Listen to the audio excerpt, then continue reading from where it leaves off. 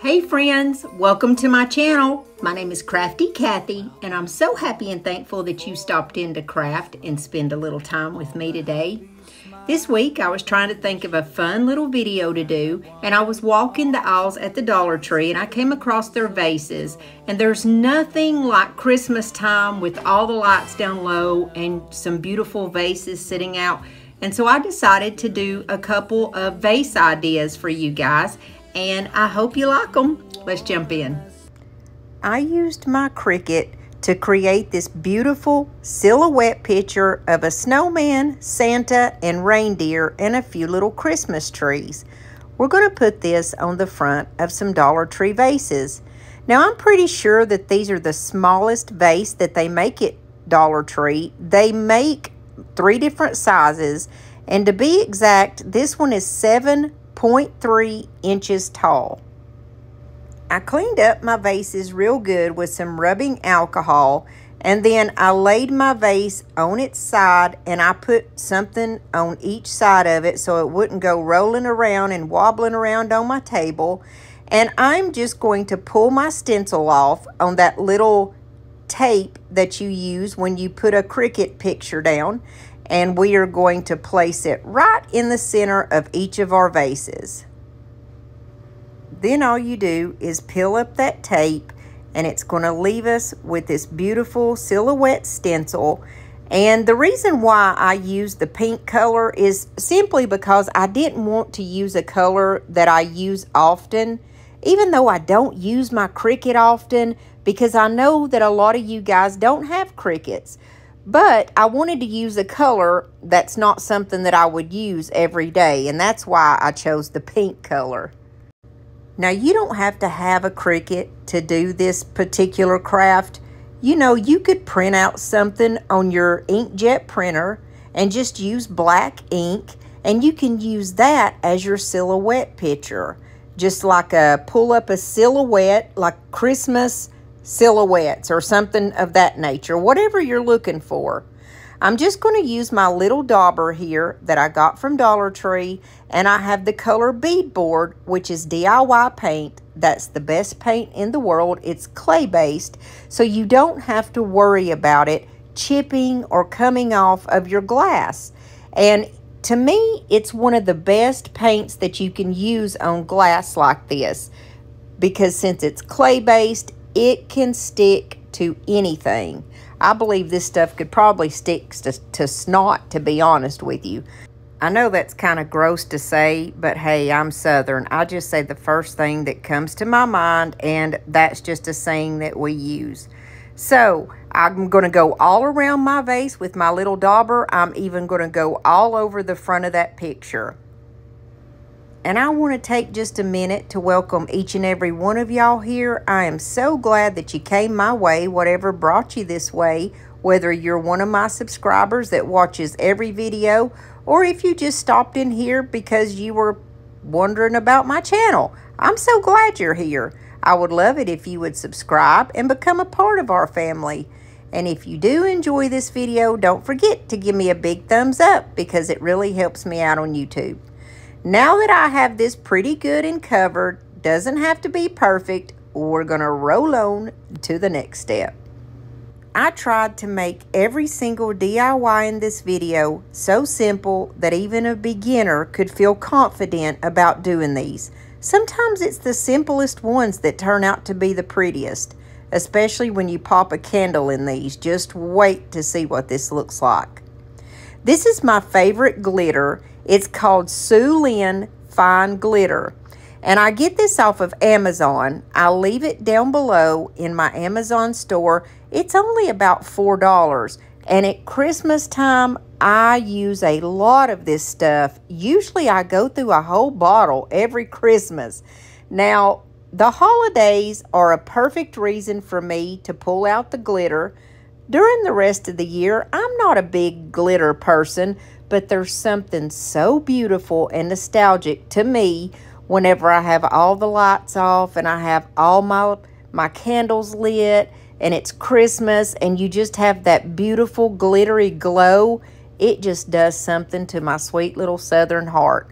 But I'm going to go all around these, and I'm just kind of shaking it on, just kind of like I'm putting pepper on something. I'm quickly going to go over both of these vases, and I always put down like a piece of wax paper or something, because that way, whenever I'm finished, I can just undo the lid to my glitter, roll up my wax paper, and slide what's left over back in there. Because you will see as I get going on these Christmas crafts, guys, I use a lot of it.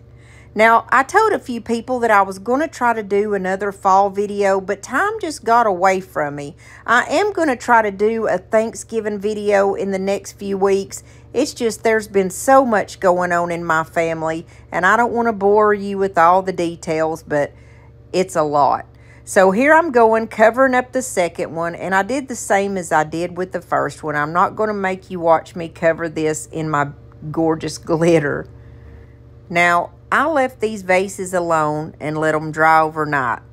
And just as I started to try to get that stencil off there, I remembered the reason why I have always taken the stencils off while the paint's still wet.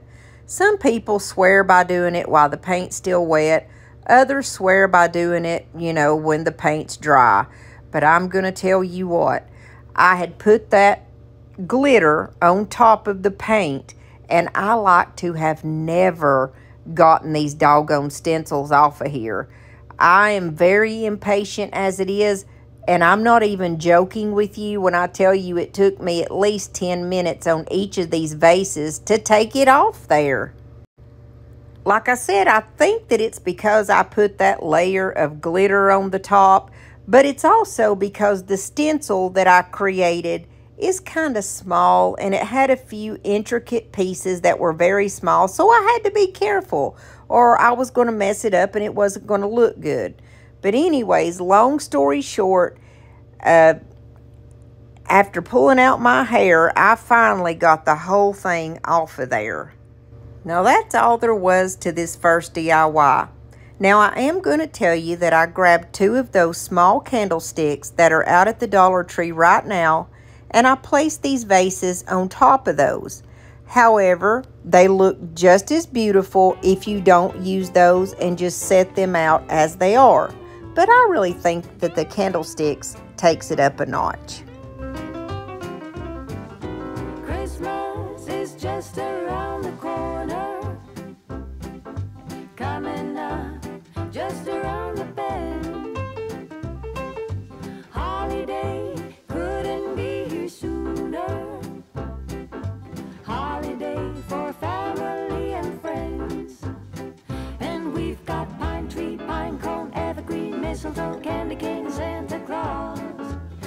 Gingerbread woman and a gingerbread man.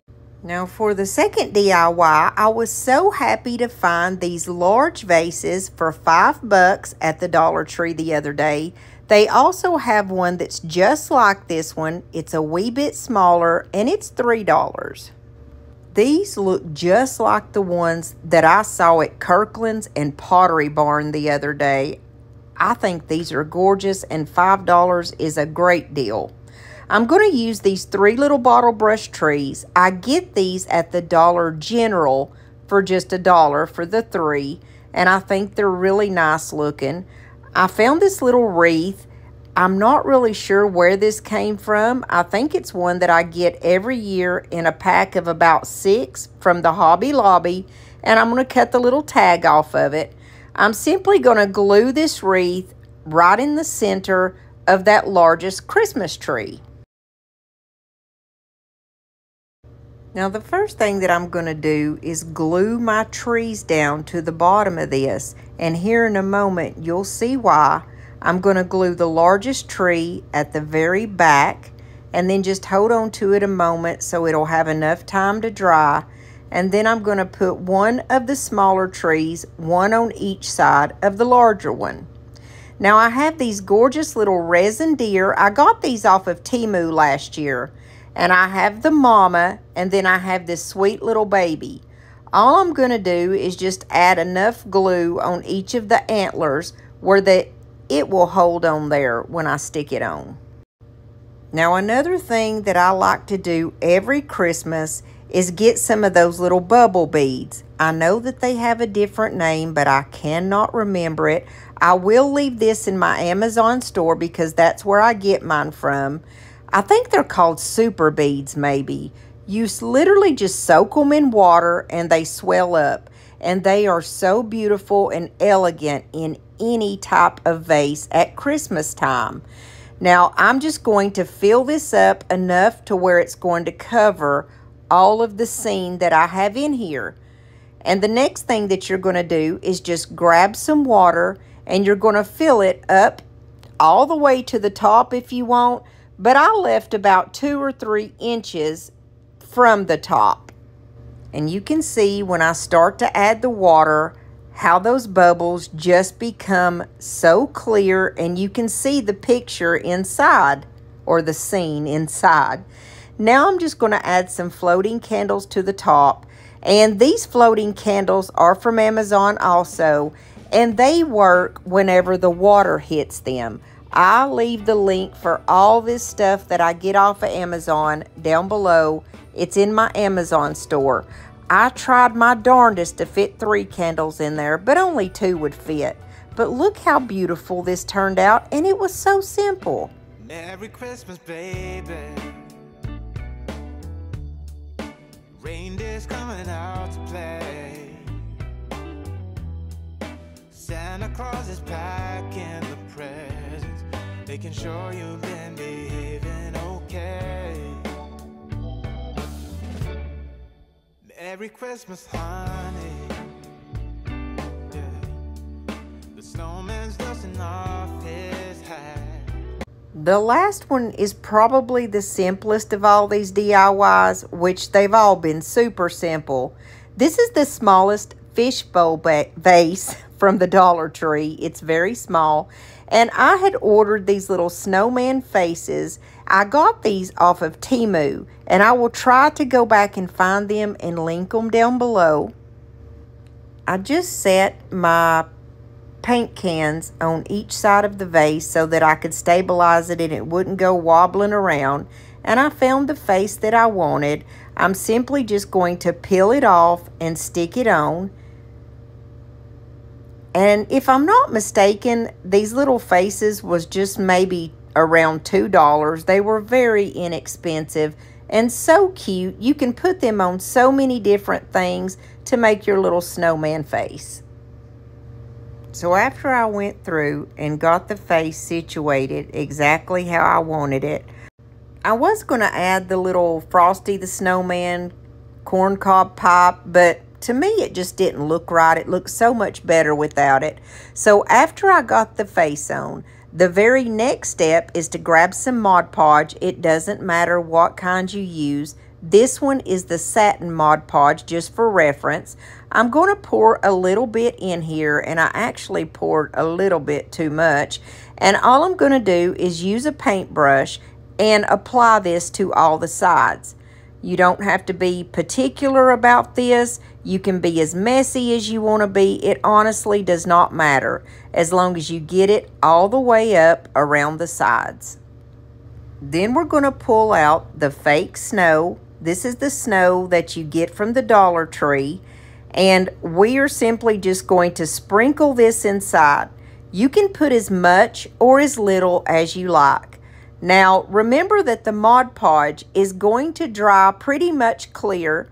So what you're going to be left with looking at is that beautiful fake snow. That sounded crazy. And then I'm going to use a little bit of that Sulyn Diamond Glitter again, just for a little extra glitz. And I'm just going to kind of turn the vase around so that I can get it in there really good.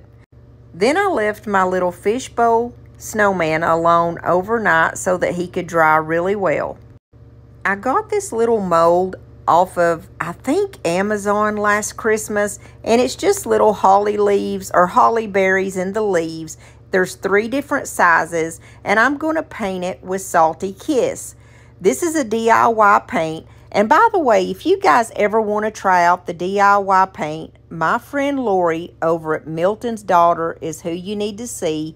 She is the sweetest person in the world, and you guys would absolutely fall in love with her. She also sells all of the IOD products that you see me use and the Pentart products, the rice papers that I use. A lot of the things that I use on my channel, I get from Milton's daughter. Now, this color Salty Kiss is just a beautiful, vibrant green. And remember, since the DIY paint is clay-based, when it dries, it is actually kind of like a lighter color than when you put it on. So I ended up putting two coats on this so I could get it just a wee bit darker. Then I grabbed the beautiful red color called Carnival Red. Now it's a really bright, vibrant red. Perfect for my holly berries. And I'm just going to go over those in the center really quick. Over the years, I've had two thousand million of those little snowman hats from the Dollar Tree and can't find a single one. So I ended up finding this little hat that was actually part of a dog costume for my pug. It had pigtails on it, so I pulled the pigtails off, painted the hat black, and I'm going to use this red velvet. I got this off of Amazon last year. I had I maybe about 20 different colors of velvet ribbons and they are so beautiful. I think these are gorgeous for Christmas time. And I'm just going to go around the brim of the hat and I'm just going to put glue every little bit so that it will turn into a snowman hat. Then I'm going to take the little holly leaves and berry that I did just a moment ago, put just a little bit of hot glue on the back, and I'm going to place it right in the center of my little hat. Now, voila, it turned into a cute little snowman hat.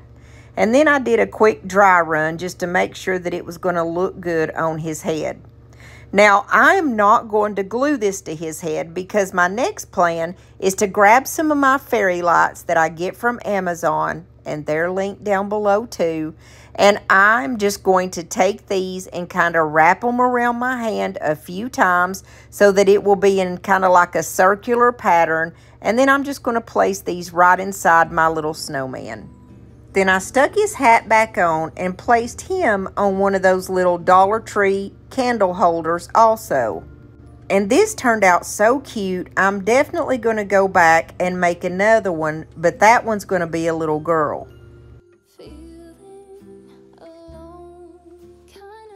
Thank you so much for stopping by my channel today and spending a little time and crafting with me. I'm so glad that each one of y'all came. If you haven't subscribed to my channel yet, I would love it if you would hit that red subscribe button and become a part of our family. And if you did enjoy this video, please give me a big thumbs up because it really helps me out on YouTube. And don't forget to let me know which one of these was your favorite. Don't forget that my videos come out every Monday and Thursday at 7 o'clock Eastern Standard Time. And I'll see you back here next time, Lord willing, and the creek don't rise. Did you know that if you're on a phone or a tablet, you can click on my face right here and be subscribed to my channel? You sure can. Also, if you did enjoy this video, here's another one that you can just hit and it'll take you there in a second when this one's finished. See you soon.